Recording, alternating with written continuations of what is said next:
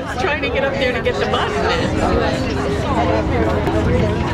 Oh, I'll have proof your, arrow, your arrows and everything. I am marching with my daughter today. And I'm marching for my daughters. This means woman in Hawaiian.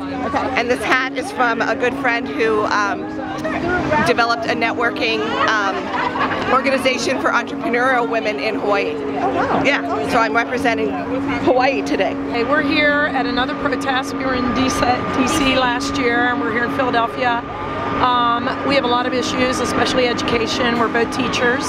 And um, we do want our voices to be heard. We want people to register to vote, get out and vote in the midterm elections. We're here from Marietta, Pennsylvania to march today. I am marching for more issues than I can count, and Stella is marching. Because Donald Trump is ruining everything. I want the world to be saved, and I want to thank my mom for taking me to all these marches.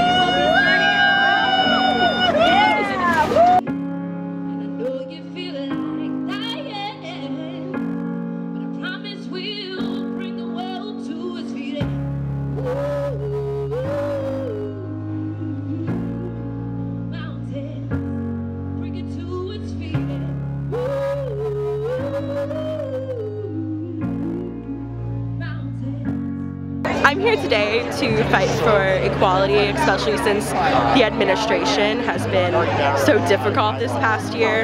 Um, and I'm here for all the women who can't speak up for themselves or are too afraid to speak up for themselves. I'm here for the sexual assault survivors. I'm here for the immigrants. I'm here for DACA. I'm here for, you know, everything that our administration is trying to hurt. Submission. Yeah, my daughter.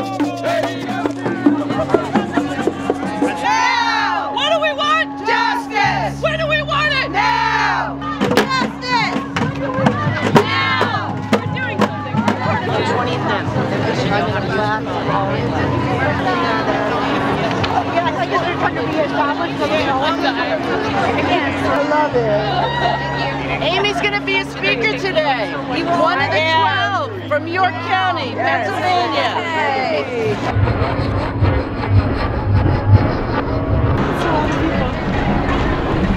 Oh, oh wow, that's a lot of people. So empowering. It's very empowering to see so many people out here. I continue to use my voice and fight for what I believe in, and I have made a promise to myself that I will never give up.